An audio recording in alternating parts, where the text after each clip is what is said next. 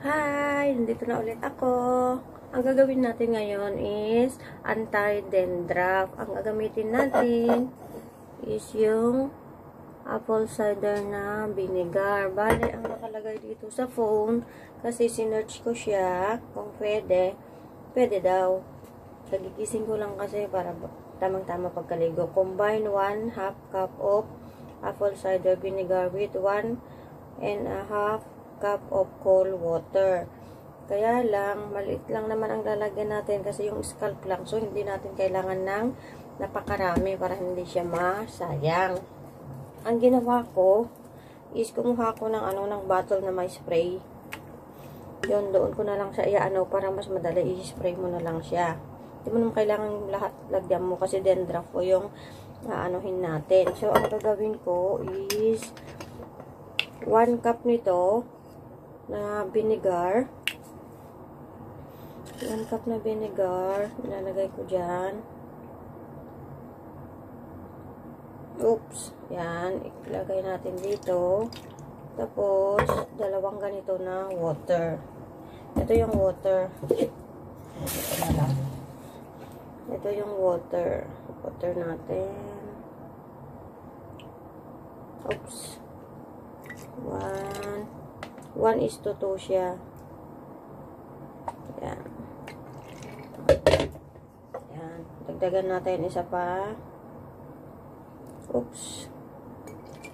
Tapos, dalawa ulit na tubig. Yan, natatakpan yung hair ko. Ano ba? Saan ba? Yan. One.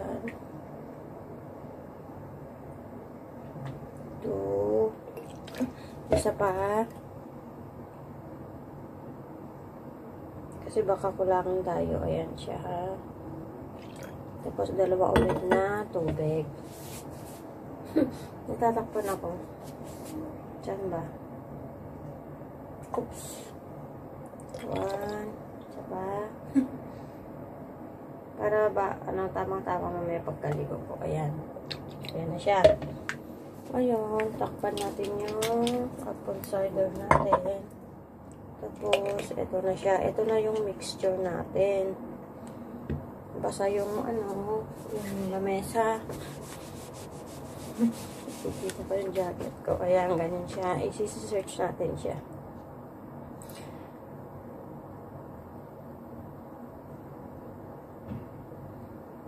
Kasi naligo naman na tayo kahapon. So, okay lang na ilagay na natin siya ngayon. Ganyan. I-spray na natin. Kumuha ka ng ano, ng suklay. Tapos, i-spray mo lang siya doon sa scalp mo. Ayan, ganyan. Kita siya. Ayan. Tapos, after that, make sure na malagyan lahat. Ganyan. Palike and subscribe po sa mga hindi pa nakasubscribe sa akin para updated kayo sa mga susunod na DIY beauty tips natin. Like and share po sa mga friends. Baka may mga friend kayo dyan na may mga dandruff, lalo na kayo dito sa Hong Kong. Prone talaga sa dandruff yung mga tao kasi winter. Pati ako nagkaka-dandruff talaga ako pag winter. Pag walang winter, hindi naman. Pag hindi siya winter, wala akong dandruff. Ayan siya. Ayan. Basta yung scalp mo lang yung lagyan mo. 3 to 5 minutes lang yung itatagal. Tapos, balutin mo siya ng hair cup. Ito pa lang ako ng tissue ha. Kasi,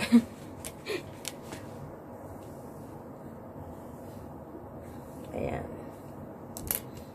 Makati kaya yung dandruff. Tapos nakakahiya din pag ano, nasa labas ka. Ayan, lagyan mo lahat. Walang cut yung, ano ko, yung video ko. Kaya, okay lang na panoorin nyo. Ayan, ganyan. Huwag mo masyadong tagalan kasi may chemical din kahit paano yung vinegar natin. Basta yung scalp mo lang, yun ang lagyan mo. Yung iba, linilib nila yung mixture sa hair nila. Pero ako, later on, i-rinse ko din siya. Normal lang yun. May amoy talaga yung vinegar. Ganyan. Para ano, maano yung mga dandruff natin. Sa, sa scalp mo lang siya, ano, ah, i-spray. Huwag mo i-spray sa buong hair mo. Sa ends niya, wag na. Yan lang. Kung sa tingin mo is okay na, balutin mo siya ng plastic cup. Lagyan natin lahat para sure. Ayan po siya. Ayan, ganyan po siya, ha? Mga kabeshi. Leave mo lang siya ng 3 to 5 minutes. So, yung video ko ngayon is umabot ng 5 minutes yung pag-apply. Plus another 5 minutes. 10 minutes lang yung magagamit mong oras mo dito. 10 minutes lang siya. Dito sa may gilid. Madali lang siyang gawin.